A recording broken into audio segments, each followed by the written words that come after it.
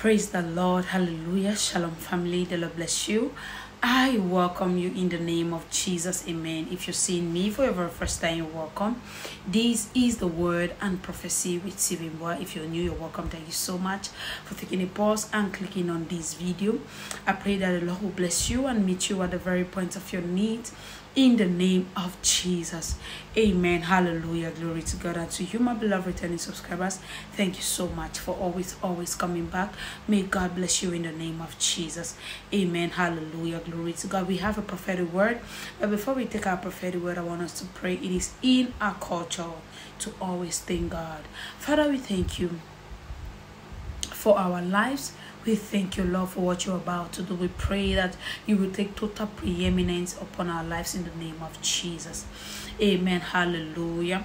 Glory to God. You are about to be betrayed by somebody you are about to be betrayed by somebody. Now you have a particular secret that you share with a, with a friend. And now this friend wants to use this secret to, to, to, to sell you out to sell you out. This is what i hear. God says you are about to be betrayed by this person.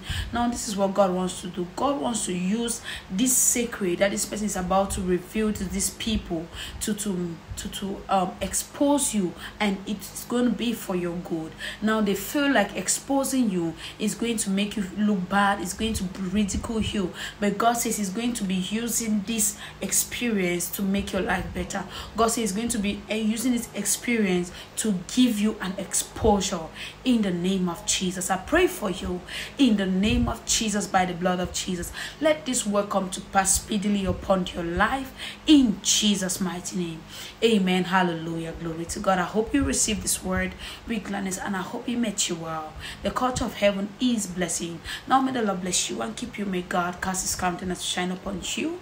May God be gracious to you and may God give you peace. In Jesus' mighty name, the shalom of the Lord may nothing be missing for you and may nothing be broken for you. You are blessed of God.